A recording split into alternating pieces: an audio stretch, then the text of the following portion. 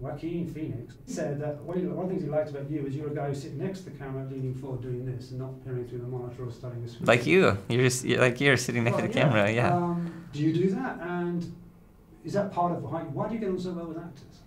Um, I think I, I mm, I deeply respect what they do and and, and sort of and, and and well not sort of but definitely in awe of them. I think being an actor is so embarrassing. Like getting you know even this is embarrassing. Sitting in front of the camera and talking is embarrassing. But like being an actor and having to like be in front of a camera and be in front of a crew and cry and laugh and pretend as if this as if a scene is real and you know the, the, the better they are at it the more embarrassing it can be because of how far they're willing to go to into themselves and um, so I think I really respect that and um, want to protect it and protect and create an environment where actors are uh, where we, we have a little bubble of you know where we can try stuff and make mistakes and um, and uh, I think with Joaquin specifically on our on, this, on our movie Her, we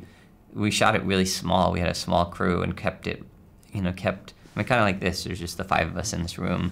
A lot of times there wasn't many more people than this when we were shooting, and we want you know the movie is so intimate. It's this very intimate love story between Joaquin and this this you know this being that only exists through a voice, and uh, you know that Scarlett Johansson plays. Um, and uh, you know that to to I really wanted to create an environment that was as intimate as possible to try and create a space to allow that his performance to be as intimate as possible.